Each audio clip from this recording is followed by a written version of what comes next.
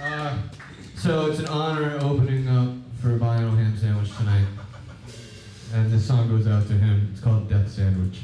It is. Yeah. If you want to make a death sandwich, you gotta break some bones.